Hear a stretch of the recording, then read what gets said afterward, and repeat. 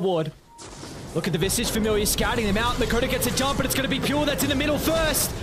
They're trying to play around with the BKB, but it won't be enough to protect Makota. It was the right click damage from Toby, too much for them They to deal him. with. And now Pure as well. They caught him out. Savage is in trouble. What can they do Sunder? to keep the Terrorblade alive? He'll somehow make it back to the high gun, turns it around with the Sunder as well, but it's Savage against the world. They don't have buybacks on Makota as well. The TB needs to be the main damage source, and Pure's gone gonna make in. sure that's not the case. Into the middle he goes, and down goes Savage. A buyback is there, but it will do nothing. As Entity He's gonna go will for go more. for the last component. KP's Dawnbreaker. Can he make it away? He'll just scurry back to the base, but Entity I don't know. Fake back. Oh, they the slow. up. Pure again. The looks you wouldn't expect it any other way. Pure has been on point from start to finish this game.